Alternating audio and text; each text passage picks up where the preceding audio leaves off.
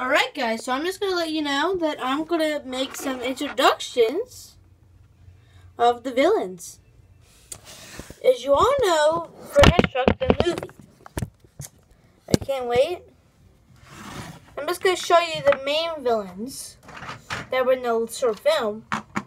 Miss Fritter. Uh, Miss Fritter. Harvey.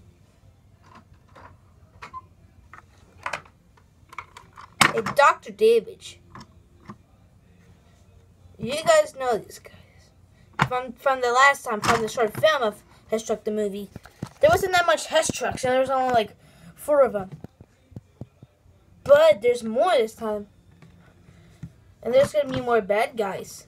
So that's why I just decided to make this video so I can let you know that I'm going to make introduction videos. But I'm going to make the title be like the, what the bad guy is like introducing blah blah blah blah.